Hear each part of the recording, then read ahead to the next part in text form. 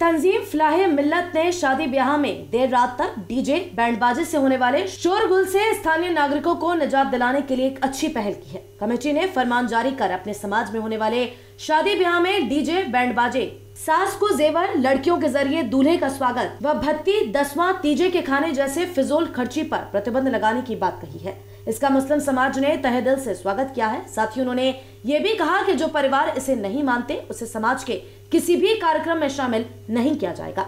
तंजीम फिलाह मिलत कमेटी ने नई सोच के साथ सामाजिक कुरीतियों को दूर करने, फिजूल खर्च रोकने और स्थानीय नागरिकों को आधी रात तक डीजे बैंड बाजे की शोरगुल से होने वाली परेशानियों से निजात दिलाने का फैसला लिया है। कमेटी ने मुस्लिम समाज की शादी ब्याह में डीजे बैंड बाजे पर पूर्णतः प्रतिबंध लगा दिया। इसका मुस्लिम समाज के सभी सदस्यों ने स्वागत किया है। इसके अलावा कमेटी का फरमान नहीं मानने वाले परिवार के सामाजिक कार्यक्रम में नहीं जाने की सख्त हिदायत दी है। तंजीब फिलाह मिल्लत कमेटी के सेक्रेटरी का ये कहना है कि डीजे व बैंड बाजे के उपयोग से ध्वनि प्रदूषण होता है। साथ ही आम नागरिकों को भारी परेशानियों का सामना करना पड़ता है। इस वजह से डीजे पर प्रतिबंध लगा दिया गया है। तंजीम फ़िलहाल मिलत कमेटी के अनुसार मुस्लिम समाज के लोगों को शाम चार बजे से पहले निकाह कराने की हिदायत दी गई है। शादी ब्याह में अक्सर बारात पहुँचने में देर होती है और शादी कार्यक्रम देर रात तक चलते हैं। बारात विलंब से आने के कारण वर वधु दोनों ही पक्षों को परेशानियों का सामना करना पड़ता है। इसके साथ ही निकाह कराने के लिए काजी को देर रात तक बैठना पड़ता है, जो कि बिल्कुल उचित नहीं है। इसके अलावा समाज के कई अन्य प्रचलनों में सुधार करने का प्रयास भी वरिष्ठ जनों के सहयोग से किया जाएगा। शादी विवाह के समय दहेज के सामान को सामने दिखाने के लिए रख दिया जाता है, जो कि उचित नहीं है। समाज में शिक्षा के स्तर को सुधारने की बेहद ज़रूरत है।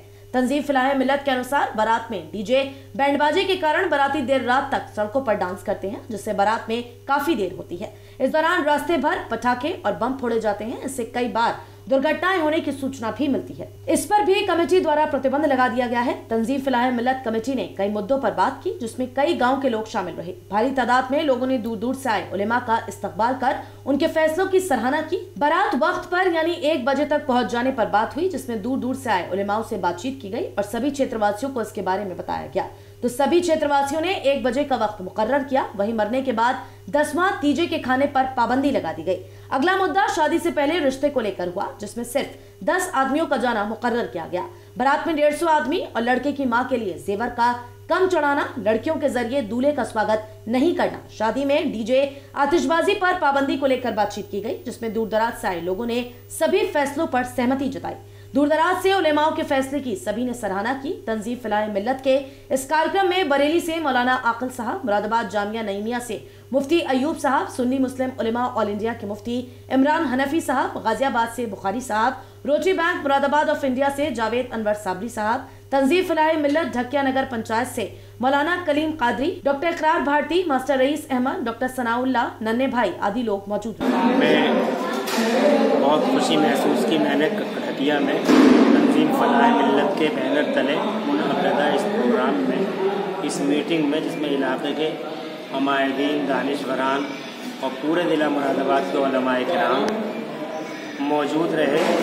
शादियों में ख़ास तौर से गैर शरी जो रसूम और रिवाज पड़ गए हैं, उनके खिलाफ उन्होंने एक तरह से जंग का बिगुल बजाया है।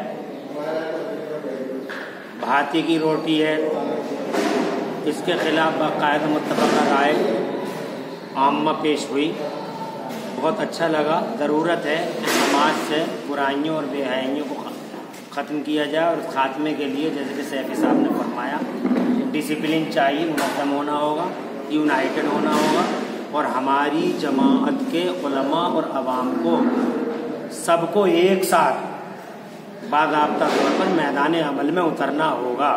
तरगीब बेहतरीन तरगीब तहरीक इन मुस्तबिल के अच्छे मुस्तबिल के लिए, अच्छे नतज के लिए पेश खैमत साबित होगी।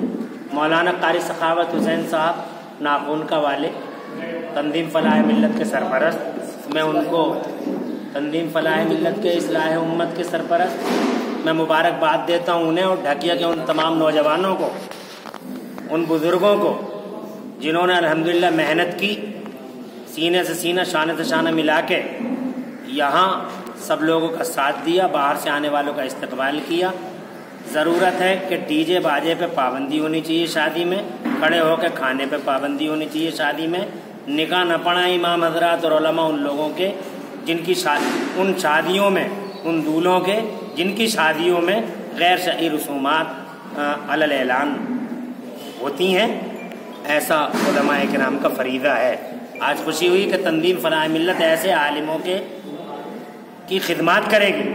अगर कोई परेशानी खड़ी होती है तो उनका साथ देगी तंदीम फ़लाह मिलत इसलिए कराम को ऐसी शादियों में, जिनमें बेहूदा खुराफात हों, ऐसी शादियों के दूल्हों का निकाह न पड़ा है और आवाम ऐसी ऐसी शादियों का बाइकाट करें। तो समाज में फैली बुराइयों को बेहाइयों को रोकने के लिए, अल्हम्दुलिल्लाह मैदान में आए हैं ओलमा मैं समझता हूँ इन ढकिया कन्वेंशन ये पूरे इलाके के लिए आइडियल बन जाएगा। मरकज़ अहल सुन्नत से हज़रत मौलाना आकिल रदा साहब और मुफ्ती मोहम्मद अयूब साहब के मुफ्ती आदम मुरादाबाद ने यहाँ आके अलहमदिल्ला इस कन्वेंशन को बहुत ज़्यादा अहम और बड़ा ख़ास बना दिया